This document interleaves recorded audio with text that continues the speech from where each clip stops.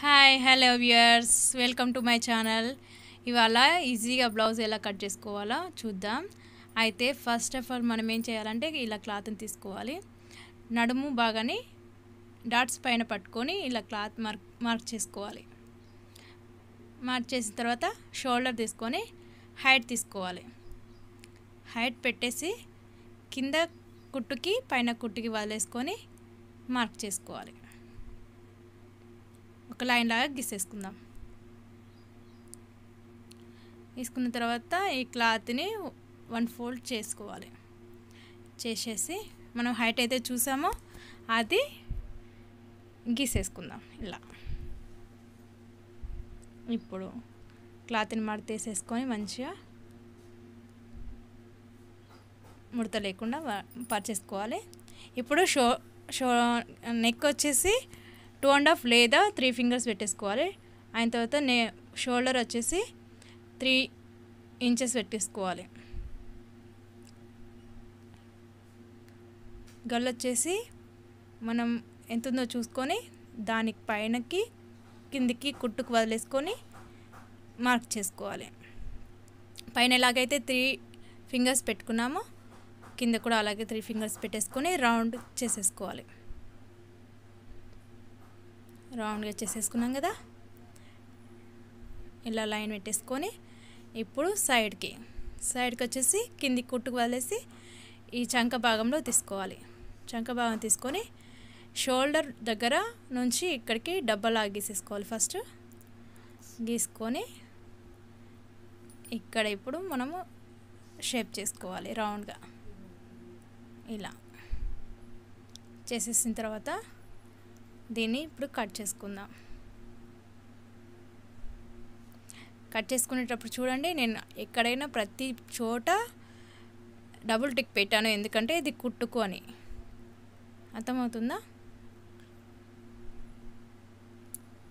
Neck cutting అయిపోయింది. Back part complete అయిపోయింది. ఇప్పుడు మనము చేతులు భాగం తీసుకుందాం. హ్యాండ్స్ వచ్చేసి ఇలా డబుల్ ఫోల్డ్ చేసేసుకోవాలి క్లాత్ని. డబుల్ ఫోల్డ్ చేసిన తర్వాత నీట్గా సర్దుకోవాలి. ఫ్రంట్ ఎక్కువ తక్కువ ఉంది కదా దీన్ని కట్ చేసేద్దాం. స్ట్రైట్గా ఇప్పుడు హ్యాండ్ తీసుకొని హ్యాండ్స్ పొడవు అండ్ లూజ్ చూసుకోవాలి కదా దానిపైన పరిచేద్దాం. ఇలా పరి పరుచుకొని ఒక లైన్ గీసుకోవాలి. ఎందుకంటే అది కుట్టుకి ఇటు ఒక లైన్ తీసుకుందాం.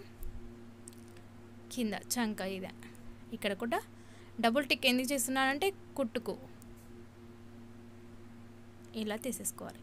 అది కుట్టు దగ్ కుట్టు వరకు ఇలా చేసుకోవాలి. ఈ రౌండ్ అనేది చేతి భాగం అన్నట్టు. ఓకేనా?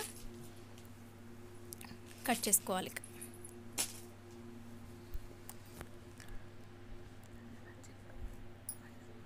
కట్టింగ్ అయిపోయింది. చేతులు కూడా. నెక్స్ట్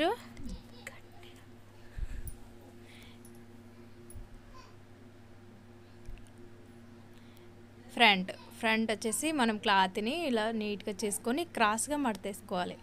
దస్తి మడత అంటారు కదా దానిలాగా ఇలా మడుచుకొని స్ట్రైట్గా పెట్టుకోవాలి. స్ట్రైట్గా పెట్టుకున్నప్పుడు మనకి ఇది క్రాస్గా ఉంటుంది అన్నమాట క్రాస్ అంటే ఇలా లాగితే స్ట్రైట్గా ఉంది ఇది సాగుతుంది కాబట్టి ఇది క్రాస్.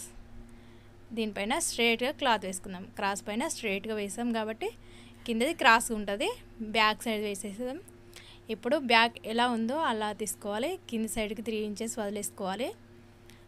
చంక షోల్డర్ పక్కలు నెక్ సేమ్ అలాగే వస్తుంది వెనక లాగానే. అయిన తర్వాత ఇప్పుడు గల్లా పెట్టేసుకోవాలి. పెట్టేసుకొని గల్ల ఎంతైతే తీసుకోవాలో దానిలాగా గీసుకోవాలి.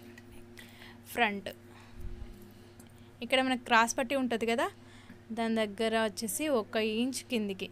ఈ క్రాస్ పట్టి నుంచి ఒక ఇంచ్ కిందికి ఒక డాట్ పెట్టేసుకుందాం. పెట్టేసుకొని అక్కడ నుంచి అక్కడికి ఫ్రంట్. దాన్ని తీసేసి కిందికి ఒక ఫోర్ లైన్స్ వేళ్ళ మందం తీసేసుకొని ఇది కొంచెం క్రాస్గా పెట్టేసుకుందాం. ఓకేనా? ఇది కట్ చేసేస్తాం. ఇది స్టార్ నెక్ అన్నమాట. అందుకే ఇలా పెట్టాను. సేమ్ యాస్టిస్ వెనుక దాని లాగే కట్ చేసుకోవాలి మొత్తం.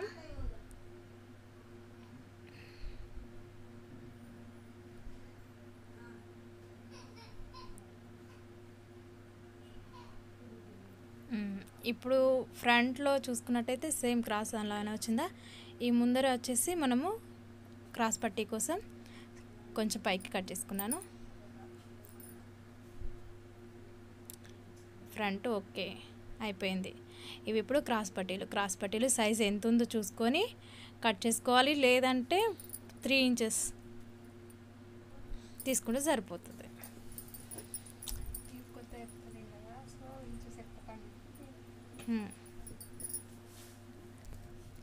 ఇలా తీసుకొని ఇవి ఇలాగే సేమ్ నాలుగు లై ఒక క్లాత్లో నాలుగు తీసుకొని పీసులు క్రాస్ పట్టీలు తీసుకొని జాయింట్ చేసుకోవచ్చు లేదంటే డబుల్ తీసుకొని దాన్ని కుట్టేసుకోవచ్చు డైరెక్ట్గా ఇది దీన్ని ఇప్పుడు మన ఒరిజినల్ క్లాత్ పైన పరిచి ఇలా కట్ చేసుకోవాలి.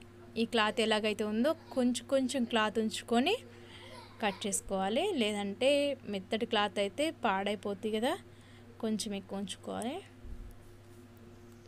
ఇలా కట్ చేసుకోవాలి. ఇది బ్యాక్ పార్ట్ కట్ చేసేస్తున్నాను.